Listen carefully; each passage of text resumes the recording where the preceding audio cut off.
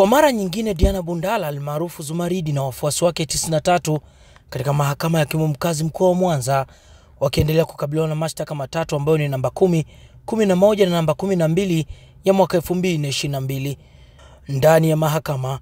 Katika kesi hiyo ambayo awali ilikuwa ikiendeshwa na hakimu mkazi mfawidhi mwandamizi Monica Ndieko Bora wa mahakama ya hakimu mkazi mkoa wa Mwanza, leo hii imeendeshwa na hakimu mkazi Stella Kiama, ambapo upande wa serikali imeongozwa na wakili wa serikali Emmanuel Luvinga, huku upande wa utetezi ukiongozwa na wakili Emmanuel Muta. Mara baada ya kesi hiyo kutajwa mbele ya hakimu mkazi Stella, mahakama ilishindwa kusoma maelezo ya awali baada ya washtakiwa watatu kutofika mahakamani pamoja na hakimu anayeendesha kesi hiyo kutokuwepo. Zumaridi na wafuasi wake wanakabiliwa na mashtaka matatu yakiwemo usafirishaji haramu wa binadamu, ambapo kosa hilo linamkabili yeye mwenyewe Diana Bundara almaarufu Zumaridi. Kosa la pili ni shambulio la kudhulu mwili na kuzuia maafisa wa polisi kufanya kazi yao, ambapo kosa hilo washtakiwa wanatuhumiwa tisa akiwemo Zumaridi na kosa la tatu ni la kufanya ukusanyiko bila kibali cha mamlaka husika ambapo washtakiwa ni Zumaridi na wafuasi wake 84.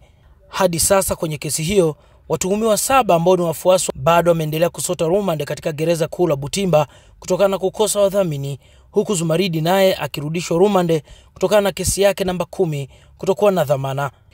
Kesi hiyo imeahirishwa mpaka Aprili 14 mwaka huu. Nje ya mahakama, wakili wa utetezi Eric Muta ameweka wazi mwenendo wa kesi hiyo.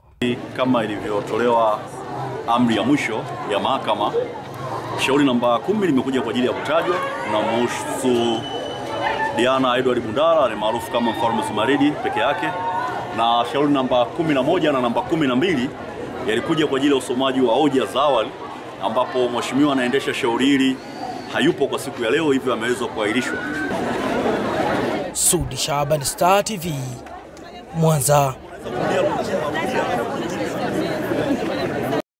Bofya kitufe cha subscribe kisha gusa alama ya kengele kupata taarifa za Star TV muda wote wakati wowote.